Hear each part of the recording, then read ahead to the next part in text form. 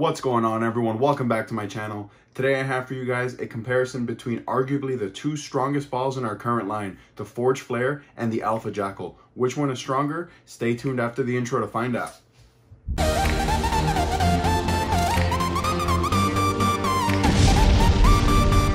So the Alpha Jackal and the Forge Flare are the two strongest balls in Motiv's current ball chart.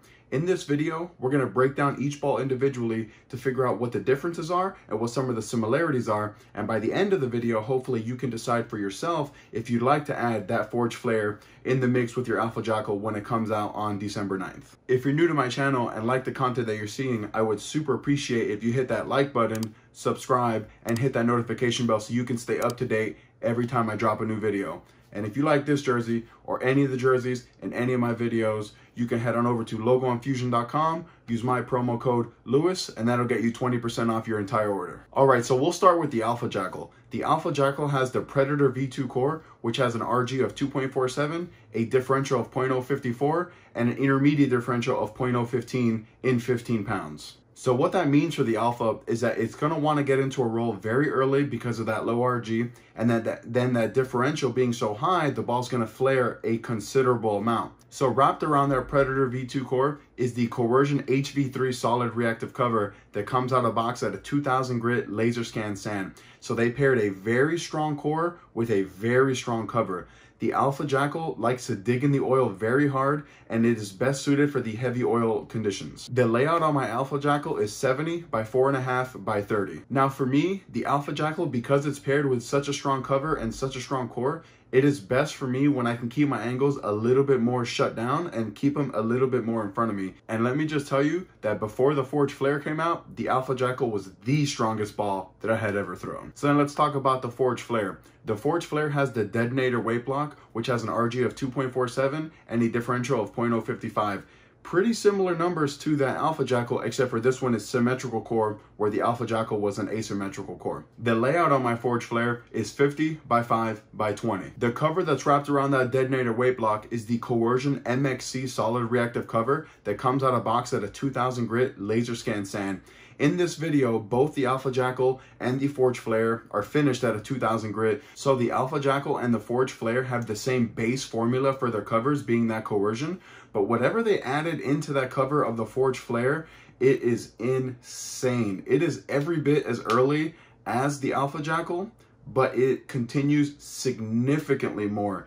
I have never seen a bowling ball that is so early and shapes as much down lane. Now, in this video, I don't want you guys to think that I hate the Alpha Jackal by any means. I love the Alpha Jackal. But what this Forge Flare does on the lane is truly special. Let me know down below in the comments if you have an Alpha Jackal and if you're considering ordering a Forge Flare when it comes out on December 9th. I'm to take you guys on the lanes now so you can see both of these bowling balls side by side. Thank you guys for joining me for this in-depth comparison between the Forge Flare and the Alpha Jackal. Now, as always, I'm going to show you every single shot that I threw in this session, the good shots and the bad. It is all too easy to make any ball look absolutely amazing if all I do is show you the good shots. So with that out of the way, let's talk a little bit about this Forge Flare and the Alpha Jackal. What makes them unique? So the Alpha Jackal has that asymmetrical Predator V2 core, which is a very strong, very early, very forward rolling bowling ball. Now what I mean by forward rolling is that the Alpha Jackal doesn't shape a lot down lane. It wants to get into a roll very early and then roll very forward. That is really good on the long patterns and it's also very good on the short patterns where you don't want the ball to over jump off the spot. Now the Forge Flare is, in my opinion, the most interesting and the most unique solid bowling ball I have ever thrown. It is every bit as early as the Alpha Jackal, as you guys can see in the video, but it wants to shape down lane more than any ball that is that early. Now, I've said that there are other bowling balls that are as early as the Forge Flare, but not one of them shapes as much down lane as this flare. So because of that, its usability factor is through the roof.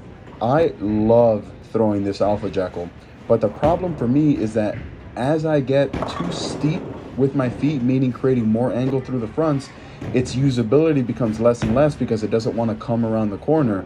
So an issue that I've ran into in the past with the Alpha Jackal, especially in league, is that it looks amazing, for example, game one, but then once I have to transition out of it, I have to make a guess as to what ball change I'm going to make.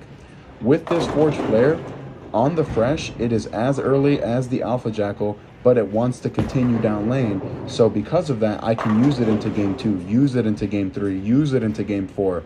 It's a ball that as I get further left, as long as there's enough volume in the middle, I can continue to throw this ball, you know, game in and game out.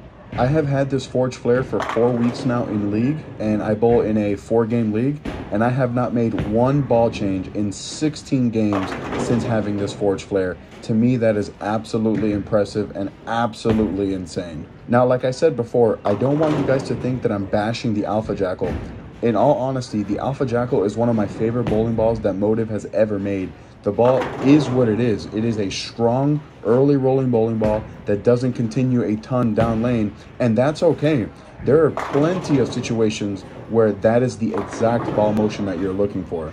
But in this video, we are comparing the Alpha Jackal to the Forge Flare. And the biggest, most glaring difference that I notice between throwing the Forge Flare and the Alpha Jackal is just how much more continuation the Forge Flare produces down lane than the Alpha Jackal. Now, one question that has come up a lot recently between these two bowling balls is if they are different enough to warrant having both of them in the bag. Now, the short answer is yes. The Forge Flare does something down lane that the Alpha uh, that the Alpha Jackal simply does not. Now, if you're planning having both of these bowling balls in the bag for the same tournament or same league, you better have enough oil in the middle part of the lane.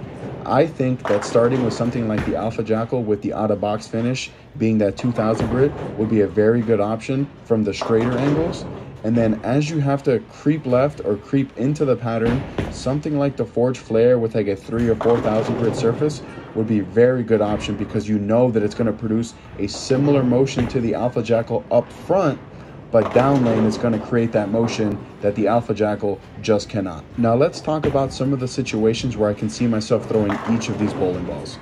All right, so the Alpha Jackal, I would consider throwing on the very short patterns where you want the ball to use up all its energy up front and not shape a ton down lane. That would be a amazing option for the Alpha Jackal.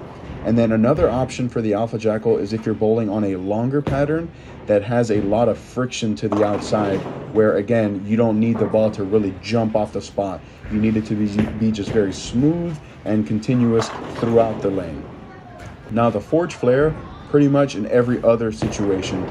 If you're bowling on maybe even a short pattern where there isn't a ton of friction, or maybe into like game three, game four of a short oil pattern where the oil has pushed down, the Forge Flare would be a really good option. And then on those long patterns where there isn't a ton of friction down lane, I think it would be a very good option over the Alpha Jackal. The USBC Open Championships are pretty much right around the corner. Comment down below and let me know if you're going to be attending this year's tournament and what your arsenal is going to look like. Now, preliminary thoughts are that both the Alpha Jackal and the Forge Flare are going to make my list of balls that I'm going to take. Now, obviously, I'll know more as I get to bowl on last year's pattern just to have an idea of what sort of bowling balls I'm going to take. And then obviously, I'm going to make a video with my final six ball arsenal on last year's singles and doubles as well as team pattern. When it comes to building an arsenal for the Open Championships, I like to take bowling balls that are extremely versatile that can do several things or balls that are very good at that one thing. So, as an example, the Forge Flare would be in that category of a ball that can do multiple things. It can be super early and then it'll shape down lane, so it'll be a good game one ball or a good game three, game four, game five ball into that singles and doubles. And then something like the Alpha Jackal would be a prime example of something that's really good at that one thing. If I need that hook stop motion at any point in the tournament, the Alpha Jack will be a very good option. I'm working on the surface video for the Fatal Venom that I did with Andrew, so be on the lookout when that one drops very soon. After that one, I'll work on the surface video for the Forge Flare as well. Well, there you have it, folks. There's my in-depth comparison between the Alpha Jackal and the Forge Flare. Let me know down below in the comments what you thought about this video and if you want to see more comparisons like this in the future. Click right here to watch one of my older videos. Click right here to subscribe. Till next time, guys.